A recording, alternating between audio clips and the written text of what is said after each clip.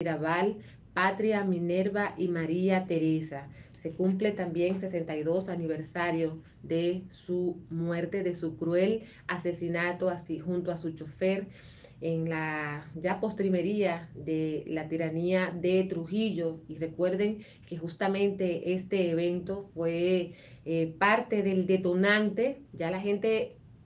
estaba, estaba cansada, pero cuando se vio como de manera cruel, salvaje, eh, sin piedad, mataron a tres mujeres y a su chofer y luego se quiso fingir o se hizo todo el aparataje para dar a entender que se trató de un accidente de tránsito, pues esto ya fue como la gota que derramó el vaso y que terminó de reunir la fortaleza y de fortificar los planes para acabar con la tiranía de Rafael Leónidas Trujillo. Y es por esto que esta planta televisora de Grupo de Medios Telemicro se ha tomado la atribución y también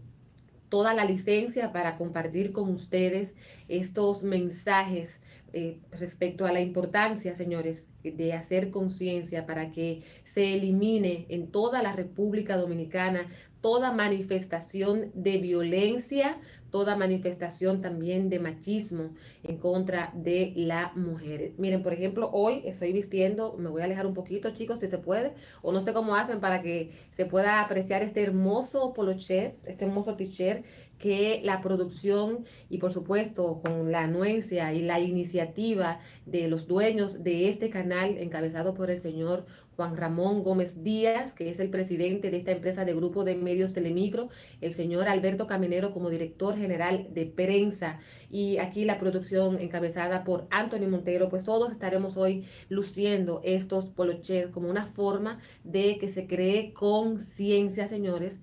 no solamente con palabras. Aquí yo, los que, los que han seguido parte de mi trayectoria saben que si algo hago yo es hablar y lamentar también la cantidad de feminicidios que ocurren en la República Dominicana, que lamento muchísimo que mujeres acudan a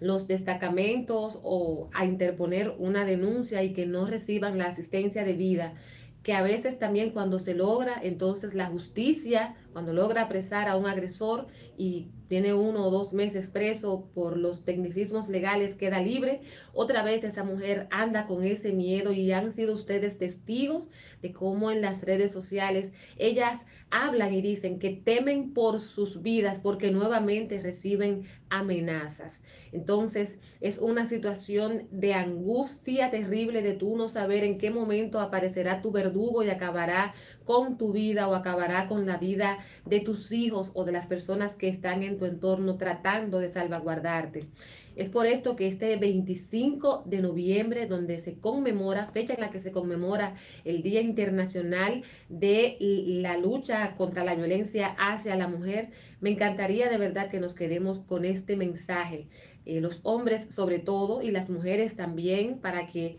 si son víctimas, aprendan a alejarse a tiempo y los hombres para que tratemos de cambiar este patrón de comportamiento que mm, en, lastimosamente define al macho dominicano. Por supuesto que no todos, no estoy diciendo que son todos, pero es un patrón eh, que nos caracteriza, sobre todo como sociedad, donde el macho no llora, donde el macho es el que manda, donde el macho es que tiene su mujer, donde la mujer tiene que atenderle, eh, es el proveedor también, tiene mucha, mucha responsabilidad, pero sobre todo no tiene la inteligencia emocional para afrontar, para asumir que una relación terminó,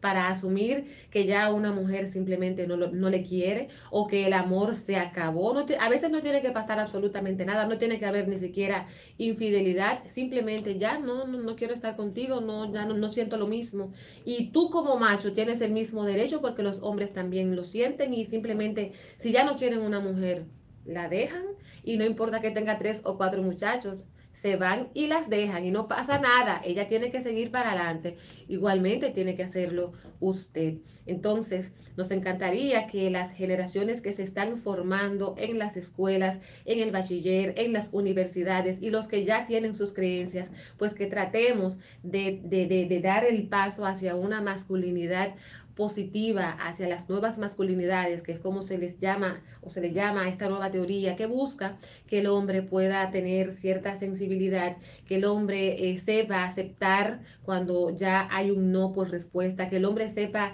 entender, que pueda interiorizar cuando una relación termina y que no tiene por qué haber ningún tipo de violencia, no tienes tú por qué ir a matarla si ella decide iniciar una, o una nueva vida con otra persona. De verdad que esta empresa de grupo de medios Telemicro que preside el licenciado Juan Ramón Gómez Díaz está totalmente comprometida y la programación de este viernes 25 de noviembre estará dedicada a emitir estos mensajes para que se cree la conciencia nacional en hombres y en mujeres. Las mujeres que somos las que tenemos la gran responsabilidad, lastimosamente también, de criar a los varones, porque debiera ser una actividad hermosísima compartida entre dos, los dos progenitores, pero sabemos que la realidad cultural de la República Dominicana le carga esa responsabilidad sobre todo a las mujeres. Entonces, hombres y mujeres, hagamos el esfuerzo para esas venideras generaciones que puedan de verdad ir cambiando esa mentalidad, ese imaginario mental de que las cosas son de una manera y que si no es así, no tengo la capacidad para eh, eh, afrontarla y tiene que ser como yo diga. No. Por ejemplo, aquí hemos recibido desde el Ministerio de la Mujer de la República Dominicana. Ustedes saben que ahí está la señora Mayra Jiménez como ministra de la Mujer.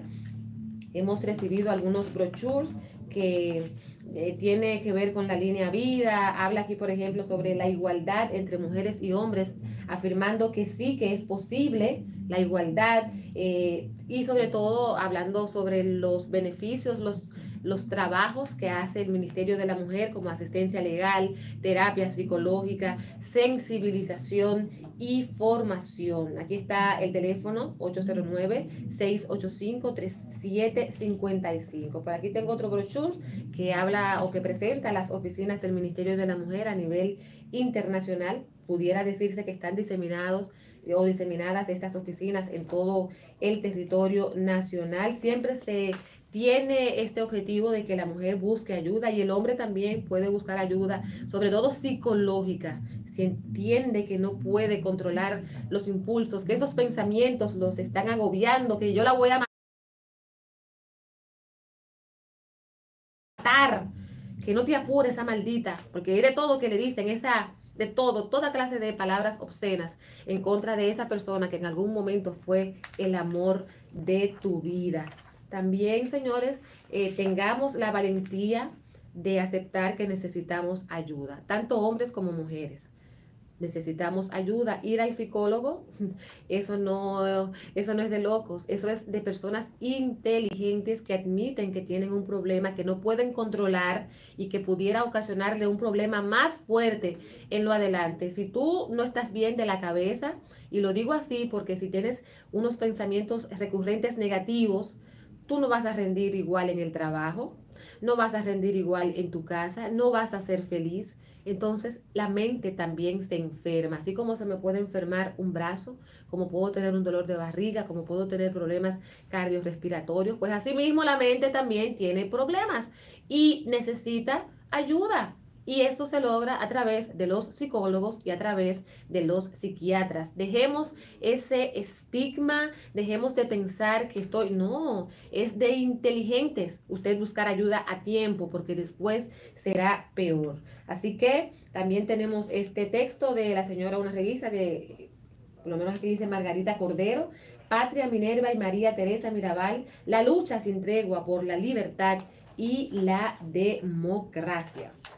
que nada, y aquí también ya finalmente el plan estratégico elaborado en noviembre del 2020 por una vida libre de violencia para las mujeres. También tenía, o tengo, la, la, voy a compartir brevemente para, ya, veo que son las 5 13 minutos, el tiempo este viernes como que va rapidísimo, volando, Dios mío, ¿y qué es esto? Eh, por ejemplo, eh, las llamadas por casos de violencia de género aumentó en un 55% en la República Dominicana durante la pandemia. Ustedes recordarán que durante la pandemia las mujeres, las niñas, los, los, niños, los hombres, los esposos se vieron obligados a estar en casa porque justamente ese era el lema, quédate en casa para evitar la propagación del COVID-19. Y según la organización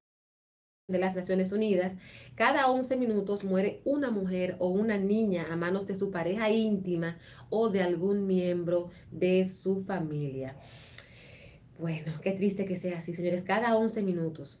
Analícenlo y piénsenlo a nivel mundial. Entonces, a propósito de, este, de que este 25 de noviembre se conmemora el Día Internacional de la Eliminación de la Violencia contra la Mujer, la ONU ha informado que en la República Dominicana las llamadas por casos de violencia basada en género aumentaron un 55% durante la pandemia del COVID-19 y es por esto que, como organismo internacional, igualmente como las autoridades dominicanas, entienden que es hora de tomar medidas transformadoras para poner fin a la violencia contra las mujeres y las niñas, señores. Y yo estoy de acuerdo con esto. De acuerdo al Observatorio de Igualdad de Género de América Latina y el Caribe, que es la CEPAL, República Dominicana fue en el año 2020 el segundo país de la región con la tasa más alta de feminicidios, con 2.4 mujeres asesinadas por cada 100.000. Y la ONU reitera que la violencia contra las mujeres y las niñas es un gran desafío y es un tema pendiente en el país. Recordar que el gobierno del presidente Luis Abinader Corona eh, ha hecho esfuerzos en el sentido de que ha incrementado el presupuesto para el Ministerio de la Mujer y que este ministerio también ha eh, construido más casas de acogida. Recuerden que hasta esta administración gubernamental me parece que solo habían dos o tres casas de acogida y que estas infraestructuras no es simplemente una casa, sino que cuenta con un personal que asiste a las mujeres que son víctimas de violencia, que las reciben hasta con sus propios hijos, que les dan comida, asistencia psicológica. Eh, y una atención integral para que ella pueda fortalecer